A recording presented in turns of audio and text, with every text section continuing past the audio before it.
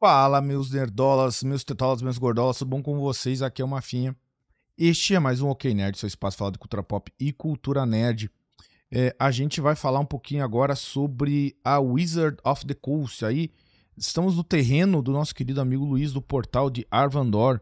Não se esqueça de você dar uma passadinha lá no canal dele, portal de Arvandor, para seguir ele e a Carol, minha querida Carol, né? E vamos falar um pouquinho do nicho deles aí, que é o RPG. Saca só essa notícia aqui, que bizarra. É, Wizard of the Coast acusado de usar Hillary Clinton como modelo para a nova masmorra e os dragões paladino. Vamos lá. A Wizard of the Coast é acusado de usar a Hillary Clinton como modelo para seu paladino na nova edição de Dungeons Dragons. O usuário do X, Ryan Howard, compartilhou uma captura de tela do personagem que realmente se parece com a Hillary Clinton e escreveu: Este D&D Six, é, sexta edição, né? Paladino parece que ela só pode transformar os mortos-vivos que têm informações sobre White Walker. What, White Water. Tá aqui, ó, né? É, numerosas pessoas reagiram ao post compartilhando seus pensamentos de que o personagem se parece com a Hillary Clinton. O usuário do ex Kenobi Stick escreveu: Hillary Clinton é um paladino na nova edição do D&D. Muito criativo, né? Nenhuma agenda para ver por aqui, né? Olha aí, ó. É, o Palewolf escreveu: O novo paladino não mata ninguém, todos cometem suicídio em circunstâncias questionáveis. O Gogonitz postou: Desde que Hillary Clinton se tornou. Desde quando a Hillary se tornou paladina? O Brian Urso escreveu: O único problema é que se você tem essa garota em sua festa, todo mundo acaba ficando, né, é, retirando a própria vida, né? Por causa daquela treta, né, que todo mundo fala que todo mundo que denuncia os Clintons por alguma coisa, né, acaba misteriosamente né, tirando a própria vida, né? O Thunder Moose zombou e, é, e, lança apagar nos seus servidores o componente físico é um pouco de lixia e um pano ou algo assim. Eu não sei lá o que ele quis dizer com isso aí, mas enfim. Acho que ele tá falando que tá, é, é, é ela, ela, costuma apagar os servidores por causa daquela treta, né? Que a Hillary Clinton usou os servidores pessoais dela para receber é, e-mails quando ela era secretária de Estado do nosso querido Barack Obama, né? E, e aí ele tá querendo dizer assim, ah, um pouquinho de bleaching, de, de, de, de cândida, né? De água sanitária para limpar o, o, as coisas que e, os clientes gostam de fazer com quem denuncia eles, enfim. É, o Marmont possui. O, o, ele, geralmente eles falam com os mortos-vivos para conseguir votos, né? Essas acusações vêm na esteira de inúmeros indivíduos satirizando a Wizard of the Coast por sua estética de arte é, woke, que apresenta caricaturas inspiradas na diversidade e na promoção de atividade homossexual. É, o Drunk Dillo Press comentou no X: Eu acho que isso é, é, mais a arte do manual do jogador, incluindo os orcs mexicanos. Lembra quando a arte do livro D&D mostrou batalhas e monstros ruins e não uma porcaria... Não posso falar o nome Enfim, muita gente está dizendo também que é, isso aqui lembra muito uma questão de stock image, né? Quer dizer, parece que eles copiaram stock image né? Aquelas imagens de, de para você usar em propaganda e tal, que tem umas cenas muito nada a ver, os caras se reunindo e tal, né? E colocaram um anão aqui, ó, com tatuagem, com é, com é, rabo de cavalo e tal. O apresentador TV de peixe palhaço Canon, né, do Clownfish, apontou que dois anões que assam têm tatuagens de barba um do outro nos seus, nos seus braços. Escreveu também. O novidade deles são hipsters baristas, aparentemente. Olha aqui,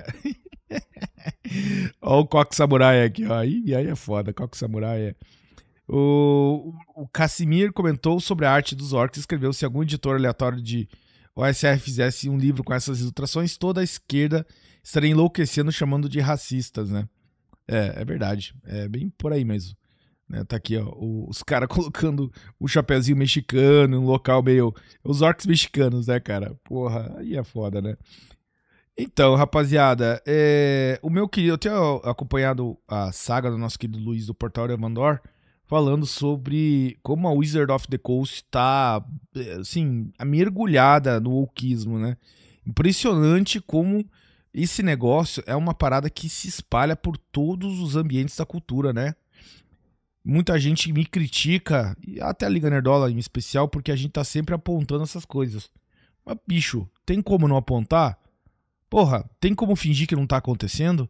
Olha isso, cara. Os caras me colocaram a Hillary Clinton. Que, ah, mas não é a Hillary Clinton. Ah, bicho.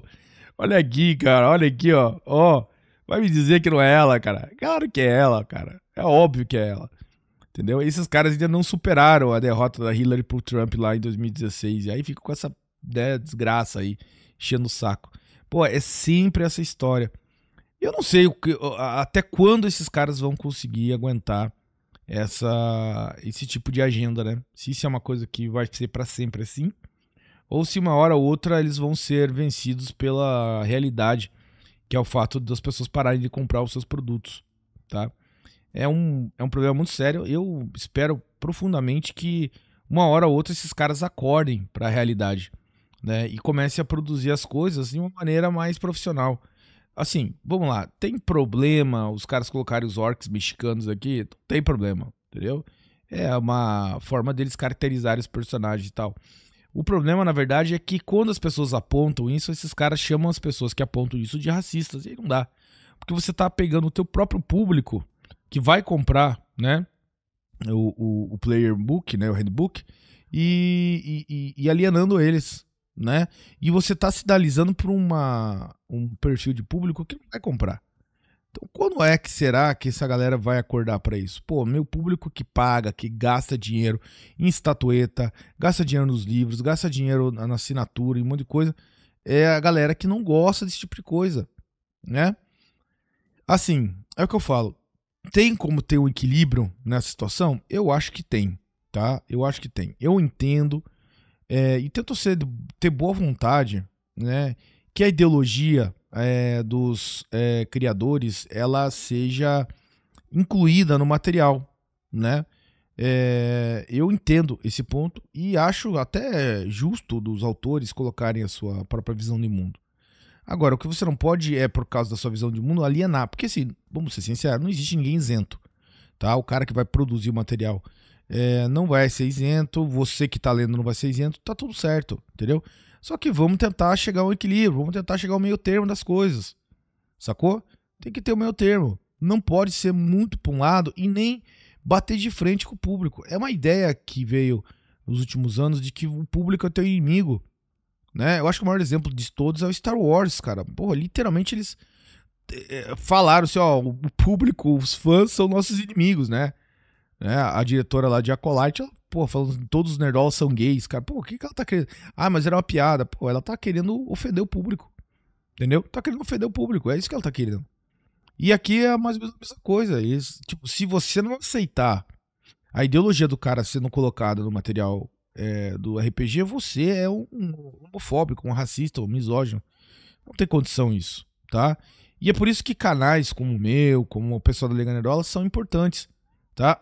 Nos Estados Unidos tem canais diversos como os nossos e que eles são muito importantes para que a gente possa pressionar né, essas desenvolvedoras, seja de games, seja de filmes, seja de RPG, para que eles retrocedam um pouco nesse ativismo absurdo, né? É, é complicado, rapaziada, é difícil, tá? É, eu tô tentando ter um, um, um comportamento mais conciliador ultimamente, nesse sentido.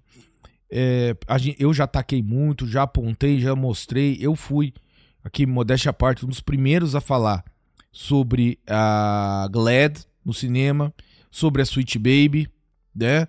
É, e eu acho que a gente tem que começar a tentar conciliar. Tá bom, galera, eu, o mundo não vai virar dos anos 90 novamente, isso não vai acontecer, é, mas a gente pode dar uma diminuída na coisa, entendeu? Eu acho que tem que chegar numa conciliação, num equilíbrio uma hora ou outra, né? E enquanto esses caras continuarem é, é, tentando empurrar e forçar a agenda, a gente vai continuar denunciando e vai continuar é, tentando ver se uma hora eles caem na real, né? É, a quando que isso vai acontecer? Sei lá, cara, não tenho a mínima ideia quando que vai acontecer. Agora, é importante a gente sempre estar tá em cima deles, né? É, e também, uma coisa também fundamental é não se deixar levar pelo preconceito, né? É muito fácil a gente acabar pegando a ideia de que tudo isso é sempre lacração. Nem sempre é. Então tem que saber diferenciar as coisas, né? Eu tô, eu tô mafinha conciliador, paz e amor. Mafinha do Rosário, como diz o Pimpolho, beleza? Então é isso, rapaziada. Não se esqueça de inscrever no canal, não se esqueça de dar aquele joinha, dá uma olhadinha aqui nos links na descrição para entrar no Multiverso Gorduroso e participar aí dos nossos grupos no Telegram, do Chapéu de Palha, assistir filmes com a gente. A gente tá assistindo Shogun agora, né? Tá muito legal. A gente assiste todo dia à noite lá no Discord. Então, participa aí do Multiverso Gorduroso, é apenas 20 reais ao mês, tá? Vale muito a pena, cara. Vale muito a pena mesmo. Você tem acesso aí a lives secretas, é, você tem acesso ao Chapéu de Palha, que tem um monte de filme, livro e um monte de coisa. E também a nossa galera, beleza? Muito obrigado pela sua atenção. A gente se vê logo mais em mais um OK Nerd. Tchau, tchau.